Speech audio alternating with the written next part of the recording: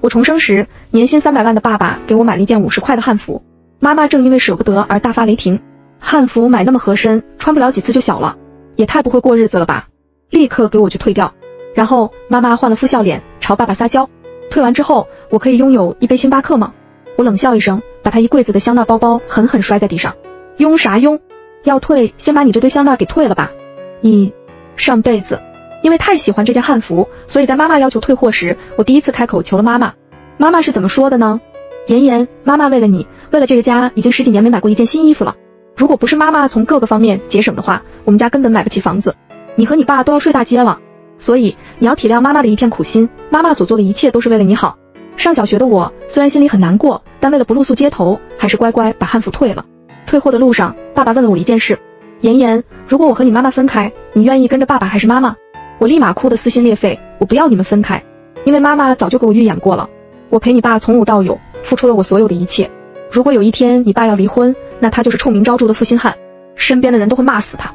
一旦有了后妈，就会有后爹。以后你一天好日子都没得过，所以如果有一天你爸说要和妈妈离婚，你就要拼了命让你爸打消这个念头，因为离婚了，妈妈反正是无所谓的，生活质量不知道上升多少，可是你就成了没人要的小孩了。见我哭得如此凄惨，爸爸只能苦笑一声，再也没提过离婚的事。很多年后，我的自我意识开始觉醒，和妈妈毁天灭地般吵了很多次，妈妈终于发现控制不住我了。可那时爸爸已经抑郁离世，而妈妈拿着家里所有的财产回了老家。她对娘家的子侄们放出话，谁要给她养老，她所有的资产就归谁。因为妈妈手握将近两千八百万的存款，所以她的晚年是在众星捧月中度过的。而我后半生都在不甘和自我疗愈中来回切换。在睁眼时，妈妈又在逼我退汉服。二，顾明轩，你赶紧带着妍妍去退货，快点去退货啊！让你们退个货怎么就那么难呢？还能不能沟通了？我出神的这段时间，妈妈大概认为我是在反抗，所以她现在说话时眉头已经皱成了川字形。我嗤笑一声，为什么要退？从小到大，我的衣服大多数是从闲鱼上买的。每次同学的目光扫过我这些破烂又不合身的衣服时，我都很自卑。如果你们没钱也就算了，可你们明明很有钱。我在家门口的中介都看到了，我们住的这套房子至少值三千万。我同桌的爸爸每个月赚五千块，换季都给我同桌买很多新衣服。我爸还是个副总，一件五十块的汉服凭什么退？因为上辈子我从小被妈妈拖，在我觉醒前基本没敢反抗过她，所以我妈听到我的话后。不可置信的瞪大了眼睛，整个人如遭雷击。可她很快就反应过来了。妈妈推了推鼻梁上的眼镜，双手抱胸：“你爸爸是赚不少，可那又怎么样呢？房子和车子那可是靠妈妈节省才买下来的。妈妈从小就教育你，做人要节省，该花的钱一分不省，不该花的钱一分不掏。我差点没忍住笑出声。所以你要喝一杯三十八块钱的星冰乐就是该花的，我要买一条五十块的裙子就是不该花的。”妈妈面不改色地点点头：“是啊，不喝咖啡我会偏头疼，咖啡是用来治我偏头疼的。”而你这个季节的衣服已经有两件了，换洗根本没问题，所以我理解为什么要买呢？然后他加重了语气，双手一摊，我是真的不能理解呀。也许是我爸的脸上越来越阴沉，妈妈稍微收敛了一点。其实你穿这身汉服真的蛮丑的，如果你现在乖乖听话，把这件汉服退掉，明天妈妈就带你去商场实体店买。我心中冷笑一声，我妈之所以一定要退掉这件汉服，是为了彰显她在这个家的权威，她要让我记住，哪怕钱不是她赚的，但我吃的用的只有她有权利买给我。我直接点破，妈妈，你一定要退这件衣服。该不会因为爸爸给我买的时候没跟你申请经费，因为他私自做了决定，所以你很不爽才要退？三，一直以来我们家就有一个很奇葩的现象，就是家里花任何一笔钱都需要经过我妈的同意。一开始爸爸也闹过，反抗过，可因为爸爸在结婚前爷爷奶奶就因故去世，在这个世界上他就剩我和妈妈两个亲人了，所以在一次次争吵冷战中，爸爸为了我，为了家庭，一步步选择妥协。到最后就变成一个一年挣三百万的副总，连花五十块钱的权利都没有的极端线。像上辈子爸爸在退货时能问我离婚的问题，应该也是忍到极限了。可由于我的激烈反应，爸爸最后还是放弃了。所以这辈子我要在最短的时间内让我爸下定离婚的决心。四，爸爸探究的看向妈妈，似乎等着他的回答。妈妈临阵起手就开始委屈爆哭。天呐，顾妍妍，你怎么会这么想我？我一个全职家庭主妇，为了这个家任劳任怨，为了你们父女掏心掏肺，最后就换来你这么冤枉我，我真是太委屈了。这些屁话，上辈子我耳朵已经快听出老茧了。例如，我为你牺牲了那么多，这点小事你都不愿意尊重我，我是因为爱你，我才这样的。要是不爱你，我又管你是谁呢？乖乖，这些都给你吃，妈妈不吃。可等我真吃完了，他就会说，天哪，你真的一点都不给妈妈留吗？我这个妈妈真的做太失败了。如果我稍有反抗，前一秒还在大声骂我，下一秒就瘫在床上，虚弱的给他的娘家人打电话，说我欺负他。所以他现在和我说这些，简直是毛毛雨。妈妈哭了一会儿，见我和爸爸都没理他，他又自己开始擦眼泪，然后纸巾随处一丢。因为这条裙子，我已经委屈成这样了，难道你们看不到我的情绪吗？我最后问你们一遍，请你们妇女想清楚后果再回答我，这条裙子到底能不能退？我神色平静，从容转身去了我妈的卧室，然后我把她一柜子的香奈包包给拎了出来，用尽全身的力气给摔在地上。退啥退？要退，先把你这堆香奈给退了吧。我妈瞳孔瞬间放大，一副听听你在说什么的模样。好，你不退是吧？而我不再给她说话的机会，直接从桌上拿起一把水果刀，往最贵的几个包上狠狠划了几刀。不退你也别想要。我妈的假面终于被撕碎，她开始放声尖叫。你知道这些包包多少钱吗？我眨了眨眼，故作无辜。虽然我认识他们是香奈儿，应该非常贵，可妈妈你这么节省，连五十块一件汉服都不舍得给女儿买，不用说，这些肯定是假货。妈妈哭得上气不接下气，指着我，你你你。我知道他想说什么，他想说这些包可是值三四十万呢。可他一旦说了，他知道我和我爸的第一反应肯定是质疑。为什么你天天喊节省，却有一柜子的名牌包？要知道一个香奈儿 CF 可以买一千六百件汉服，感情你光让别人节省，自己光光就是花。像我妈这种 NPD 加表演型人格，最怕血包忽然醒悟，所以她硬是憋了一口气，拿上包出门找修复了。爸爸长长舒了一口气，过了好一会儿，他的身体才渐渐放松下来。缓了一会儿，爸爸终于问出了上辈子的那个问题。妍妍，如果我和你妈妈分开，你愿意跟着爸爸还是妈妈？我咧开嘴，正要回答，忽然我想到了一件非常重要的事情。不久后，我妈就要带着我去参加一档综艺节目了。五，妈妈有一位发小叫郭书瑶，因为她长得很漂亮，在大学时就被星探挖去拍了广告，从而进了娱乐圈。后来因戏结缘，和剧组的一位摄影师结了婚。而我妈大专毕业没多久，就在公司里遇到了我爸。在我妈疯狂展开追求半年后，我爸心动了。后来我妈生了我，我爸生了副总，他开始到处和人抱怨自己每天过得多少辛苦，受了多少委屈。因为我妈对外一直在扮演的是一个想出去工作，但是被家里一地鸡毛困住的女性形象，会让很多女生共情。舒瑶阿姨也是其中一个，她不仅一直很真诚耐心的开导我妈，甚至还给我妈提供了一个非常难得的工作机会。经过这些年的打拼，舒瑶阿姨的老公已经自己组建了团队，开始独立做综艺。而最近她策划了一档直播综艺，叫《亲爱的游学》。他们会找四对妈妈带孩子的组合，在暑假的时候去各地游学，从而探讨当下亲子关系。两对艺人，两对素人，两位艺人早就确定好人选，舒瑶阿姨带儿子，还有一位一线视后带女儿。舒瑶阿姨求了她老公很久，才终于给我妈争取到了一个素人的名额。结果我妈在直播里暗示我爸忘恩负义，要和他这个同甘共苦的糟糠之妻离婚，导致我爸被网暴，差点连工作都丢了。更过分的是，我妈居然还各种背刺舒瑶阿姨。她故意在镜头前不经意间爆出了舒瑶阿姨在上学时的很多话，霸凌、私生活混乱、偷钱，如此负面的形象，不仅导致舒瑶阿姨代言的所有品牌全部解约，还面临巨额违约金赔偿。而且她的粉丝几乎全体脱粉，甚至连她老公也被全网抵制。最后，舒瑶阿姨一家只能移民国外，一切从零开始。虽然上辈子我和舒瑶阿姨相处的时间也不久，但我能看出来，她真的是一个非常善良的人。我为数不多的几件新衣服和几个正版玩具，就是她买来送我的。所以这辈子除了给我爸证明，我还要保护好舒瑶阿姨，然后狠狠撕下妈妈脸上那张虚伪的笑脸。六，爸爸还在耐心等我的回复。我正色道：“爸爸，可以给我一点时间考虑一下吗？”爸爸点点头，声音里带着愧疚。这么多年，爸爸为了拥有一个家，一直在不停忍让。转头发现，为了这个所谓的家，我连自己的女儿都没有保护好。妍妍，是爸爸对不起你。我摇摇头，正要说话，咔嗒一声，家里的大门被打开了。紧接着就传来妈妈兴奋到极致的声音，全然不像她刚刚出门快要气死的模样。舒瑶刚刚给我打电话，邀请我和妍妍去参加亲子综艺了。天呐，我该不会要火了吧？气！妈妈很快把舒瑶阿姨给她打电话的内容复述了一遍。爸爸听完后，第一反应和前世一样，就是问我想去吗？前世的时候，我其实是不想去的，因为在长时间面对妈妈这种所谓的节省，我内心是非常自卑的。可我拒绝后，妈妈表面说尊重我的选择。但从那晚开始，她就待在客厅里，整夜整夜的不睡觉，唉声叹气，要死不活。临到最后的答复期限，见我还没有要去的意思时，我妈情绪真的失控了。她边哭边咆哮：“为了照顾你，照顾你爸，我辞掉了我原本不错的工作。我能力其实很强的，现在我好不容易有了一次工作的机会，你还要拖累我？你是不是要我给你跪下，你才能去？”说着，他竟然真的要朝我缓缓跪下。这种亲妈下跪的场景，对当时年幼的我冲击力非常大，害怕程度简直不可想象。所以我极其恐慌的答应了节目录制。这辈子我决定还是先将他气个半死，然后再答应他去节目。不过为了降低妈妈对我的防备，我又恢复成之前窝窝囊囊的样子。就在给舒瑶阿姨答复的最后一天，妈妈再次上演了一哭二闹三上吊，我才答应了去录节目。而这一切都被我藏在角落的手机给拍了下来。八，敲定录制节目的第二天，舒瑶阿姨就来江城找我妈签合同，也顺便教教我妈获得观众好感的技巧。上辈子他们这次见面我并没有去，但就是从这次见面后，我妈好像就恨上了舒瑶阿姨。所以这次我跟着妈妈一起来见舒瑶阿姨，想看看他们之前到底发生了什么。一看到我，舒瑶阿姨的眼睛就亮了亮。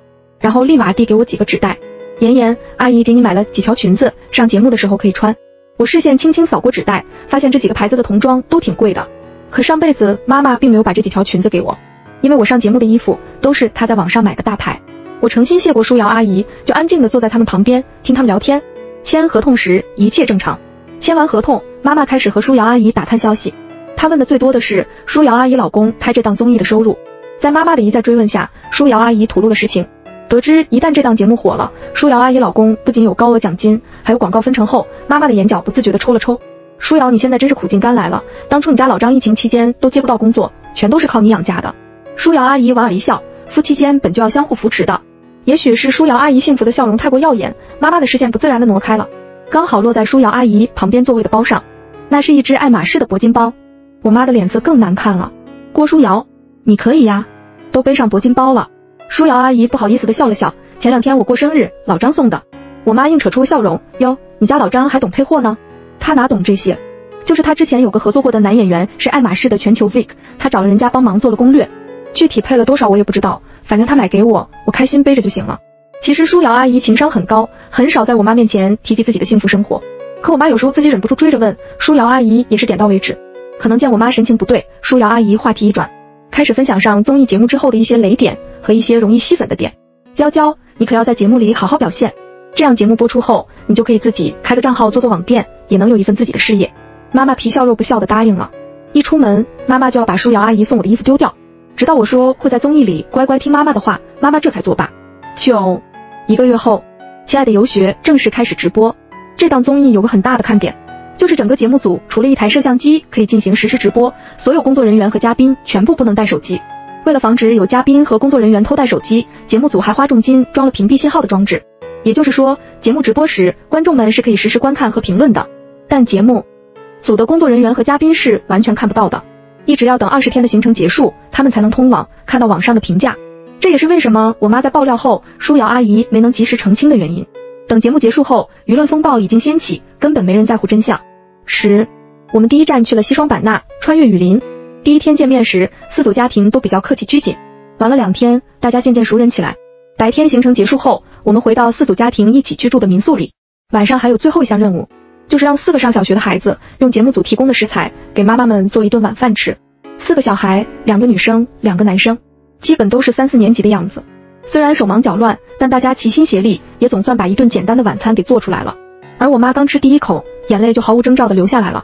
摄像机赶紧给了个特写，原本欢声笑语的餐桌一下子安静了下来，所有人面面相觑。舒瑶阿姨赶紧给她递了张纸巾，我妈擦了擦眼泪，忽然又笑了起来。不好意思，我这个人泪点太低了，第一次吃到女儿给我做的饭，我真的还蛮感动的。妈妈的话题抛出后，大家礼节性的应付了几句。见大家反应平平，妈妈放下了手中的筷子，饭也不吃了。你们知道吗？我们家所有的家务都是我一个人在做，第一次享受到别人做饭给我吃，真的好开心。妈妈说的眉飞色舞，可能是为了表现自己的开心，她还是摇头晃脑说的。这下她夸张的语气和反应得到了所有人的目光。其中另一位名叫张素的素人妈妈先开了口：“娇娇，你老公都不分担家里的家务吗？”妈妈摆摆手：“是我不让他干了。我希望我老公的手是用来签合同的，而不是用来拖地的。”张素尴尬的笑了笑，没再接话。事后，刘青把嘴里的食物咽了下去，才开口道：“娇娇，我感觉你很爱你的先生。”这个话题也算到了妈妈的舒适区了。她开始滔滔不绝：“爸爸结婚前是多么穷，她陪爸爸从一无所有开始奋斗，为了买房，她十年不买一件新衣服。全职妈妈十多年，已经完全失去自我。在他的人生里，爸爸的占比和我的占比加起来有百分之九十九，剩下百分之一是他自己。现在他因为压力太大，身材走样，我爸已经开始有点嫌弃他了。”说着说着，我妈又哽咽了。舒瑶阿姨又递给她一张纸巾，她擦完就随手往地上一丢。其实这里我妈说的这些都还只是给观众打预防针，一会儿节目组安排的单独采访，我妈才会把我爸往死里坑。因为我们这次临出发前，我爸找我妈认真聊了一次，希望我妈能趁这次旅游的机会认真思考一下他们之间的关系是不是还能继续下去。如果想继续，希望双方都可以做出改变。就是这么真诚的几句话，被我妈解读成了我爸这是在威胁她，要和她离婚。上辈子他在单独采访里是这么说的：刚刚我女儿在场，为了保护她，我不敢说实话。其实我老公这段时间一直借口工作很忙，很晚才回家。这次我出来工作，他和我提了离婚。也许等节目播完，等着我的就是一纸离婚诉讼。在不知情的外人看来，这俨然是负心汉飞黄腾达后抛弃糟糠之妻的架势。当晚我爸的信息就被扒了出来，好多人发信息骂他忘恩负义，甚至还有不少人去我爸公司的官微下面留言，让公司开除我爸。那段时间我爸被网暴的差点抑郁。十一，和上辈子的轨迹一样。吃完饭后，导演组就开始单人采访。半个小时后，妈妈泪痕斑驳的走出了采访间。妈妈深深的看了我一眼，我朝她笑了笑，然后走了进去。主持人先是问了几个常规的问题，我都结结巴巴的说了，直到他问了一句：“平时在家谁陪伴你比较多呢？”我把脸憋得通红，故意装作羞愧般低下头，然后小声说了一句：“是妈妈。”主持人一看我的样子，就知道不对劲，连忙追问：“妍妍，没关系，你不用那么紧张。”你只要把你心里想说的说出来就行，真的可以随意说吗？当然是真的。可有些问题，妈妈在家和我排练过。她说如果不按她说的回答，舒瑶阿姨的老公就会让我们赔很多钱。我的话让经验丰富的主持人都有些诧异。你妈妈还带你在家里排练了？都排练了什么呀？我点点头，对呀。总结下来就是好的东西都要说妈妈，不好的说爸爸就行。主持人柔声说道：“妍妍，阿姨相信你是一个诚实的孩子。接下来阿姨问你的问题，你能说说自己的心里话吗？”我犹豫了下。还是点点头。主持人，今天让你们几个孩子做这顿饭，其实是为了让你们多体会下妈妈们的辛苦。可能妈妈工作了一天，回来还要给你们做饭，挺不容易的。我点头回应，我妈妈是全职妈妈，确实非常辛苦。虽然她不用工作，而且家里有保姆做饭打扫，但她就是辛苦。她经常熬夜到三四点，第二天就算没精神也会照顾我。主持人，你妈妈刚刚说她已经十几年没买过衣服了，那她给你买吗？我摇摇头，其实我妈也不是真的十几年没买衣服。是没买到她心爱的品牌，叫什么香奶奶的包，倒是买了十几个吧。不过我妈确实很节省的。主持人显然来了兴趣，具体表现在哪方面呢？上个月我爸给我买了一件五十块钱的汉服，我妈看我穿着太合身，就给退了。合身不是挺好的吗？我妈喜欢给我买大衣码，这样就能多穿一年。主持人一下子瞪大了眼睛，我听说你爸爸是企业的高管，家里条件应该相当不错，你妈妈怎么会有这种想法？我努力思索了一会儿，回答道，可能因为她环保吧。我很多衣服都是从闲鱼上买的，不然就是别人送的。那你爸爸怎么不给你买？我不安的笑了笑。我们家的钱都在我妈妈手上，买任何东西都需要妈妈同意的。主持人的嘴角微微张开，定格在一个半圆形，仿佛连声音都被这突如其来的惊讶扼住了喉咙。其实我有时候我也觉得我妈有些奇怪，我满脸疑惑的发问：为什么我爸已经把所有的钱都交给我妈了，我妈还骂我爸不给她买爱什么事呢？我回眸看向主持人阿姨，那爱什么事需要多少钱？我看看能不能用压岁钱给妈妈买一个。不然她每次生日的时候都会哭得很伤心。不过这些都不能怪我妈，都怪我爸不爱我妈。主持人反问：你为什么会说你爸不爱你妈妈呢？我妈说了，哪怕钱都在他手里，我爸只要真心爱她，肯定会有办法送她想要的东西。我爸不送，就是他没有心。就在主持人面部管理快要失控时，采访结束了。回到房间时，妈妈正得意洋洋地摆弄着她的眼镜。她一定以为现在外面的舆论已经开始审判我爸。十二，第二站，我们去的是甘肃，感受丝路文化艺术。我们去看了张掖七彩丹霞，去了嘉峪关关城，在沙漠里骑了骆驼，最后一站是敦煌画院，沉浸式体验泥坯画的制作。所以今天最后一项任务就是孩子们用泥坯做画纸，然后画一张自己心目中的妈妈。上辈子我为了讨她欢心，故意把妈妈画得非常好看，因为我从小就学画画，加上我对美术也算有天赋，这就导致我画的妈妈比事后女儿画的事后还要好看。结果她却大笑着问我：“我的天哪，你干嘛把妈妈画成这样啊？妈妈哪有这么好看啊？”那时候我还特虚假的说，这就是我心目中的妈妈，当时她脸都快笑烂了。所以这辈子我决定给妈妈来个真正的写实画。十三，画是一张张被揭开的，前面三张画像都画的不错，我是最后一个。妈妈意识到此时摄像头正对着她，脸上立马带着温柔的笑意，准备迎接我的画。画布被慢慢拉开，当她的目光落在我的画上时，笑容瞬间凝固。摄像头立马给我的画切了个近景，那是一幅非常写实的画作。妈妈穿着睡衣，瘫睡在沙发上玩手机，几天没洗的头发油得发亮，素颜的眼睛比化妆时小了很多，鼻子有些塌，双下巴若隐若现。几个小朋友看到我妈的画像，没控制住大笑起来。妈妈的眼眶瞬间湿润了，眼泪不受控制的滑落。下一秒，她又故作坚强的开始大笑。没事，没事。原来我在孩子心里就是这么邋遢的样子。舒瑶阿姨轻拍下妈妈的背，孩子还小。我妈的眼中闪过一丝怨恨，然后很快就隐藏了下去。她是我最最最宝贝的女儿，我怎么会怪她呢？我就是太感动了。我宝贝的话是世界上最美的话。晚上采访时，妈妈又在采访间哭得上气不接下气，她超委屈的。到我时，主持人似乎还没从无语中缓过来。我妈妈刚刚是不是哭得很伤心？这次是我先提问的，主持人没有正面回答我的问题，反而轻声反问我：“妍妍，你是怎么知道的？”因为我妈有很严重的容貌焦虑，不过这个也是我爸爸害的，不怪妈妈。你爸爸经常嫌弃你妈妈的容貌吗？我摇摇头，那倒没有。我妈说了，她发胖是爸爸给她压力太大，所以她食欲变得旺盛，经常半夜吃外卖，就是为了释放压力。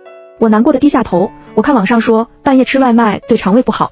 而且妈妈每次吃完外卖后，又会开启新一轮的焦虑，所以我故意把妈妈不好看的样子画下来，希望妈妈可以调整作息，多去锻炼。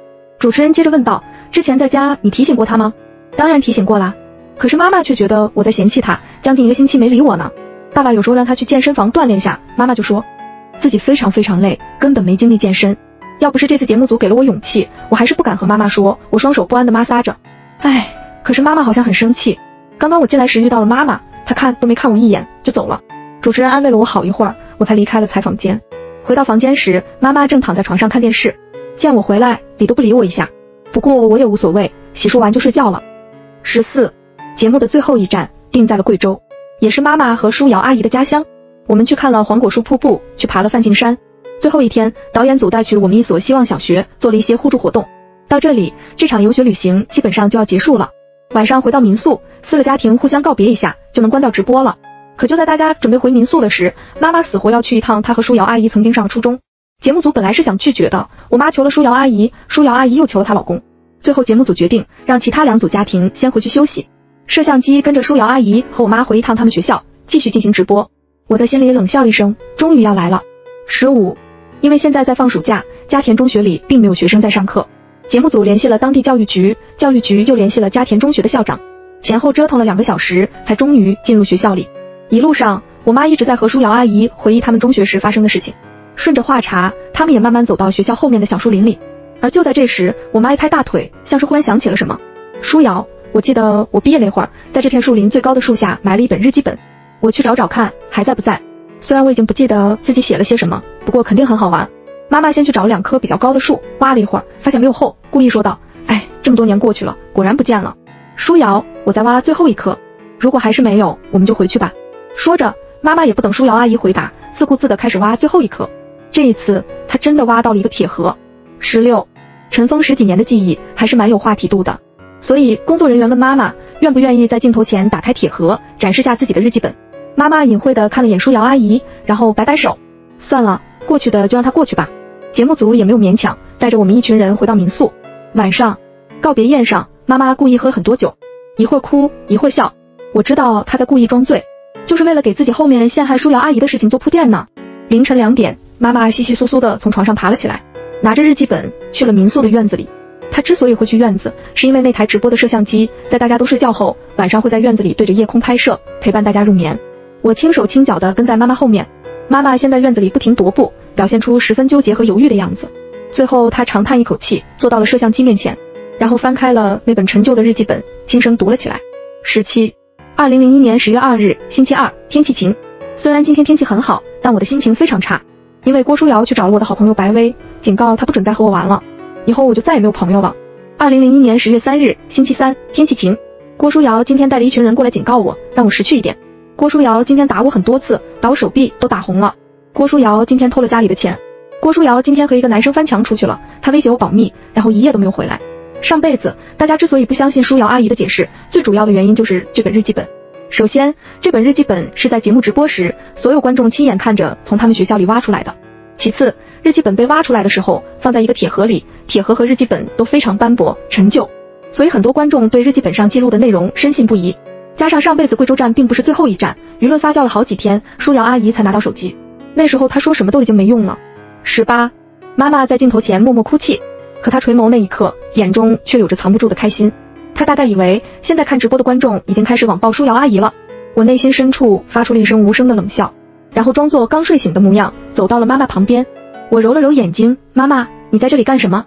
妈妈擦了擦眼泪，故作坚强道：没事，宝贝，你先回去睡觉，妈妈吹会风就回去了。